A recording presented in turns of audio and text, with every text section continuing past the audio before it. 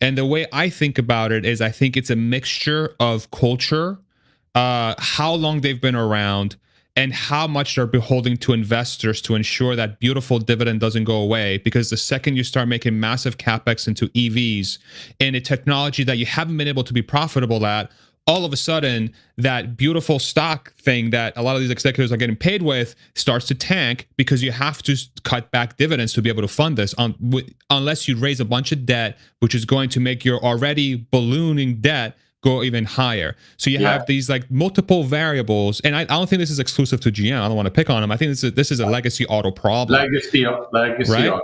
yep is that a fair uh, tell me if i'm being too harsh no, it's it's accurate. The they if you if you think about it from one perspective, GM, I don't know what the final number was, but made phenomenal profits last year.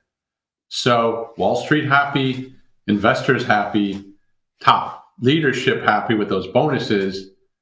Uh, along those metrics, wow, what are we doing wrong? We're great profits.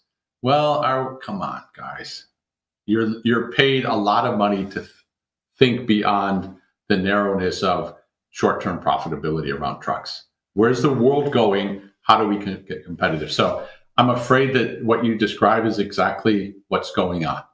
Is it's it's very financially driven, not imaginative. If you ask me about my time, I had never worked in a big kind. I always started my own companies in Asia. Then I was recruited from the outside to come to GM to to bring some new thinking, fresh thinking. And two things struck me immediately. One, very inward looking around manu- we're a manufacturing company and we're focused on us. And this year's product is so much better than last year's product that every customer is going to want it. Without the mindset of, oh, the customer has enough, about 20 other choices. That didn't occur to them. So that was one big shock for me coming into no, it was inward looking. We're doing better than we did last year. Doesn't mean anything to the customer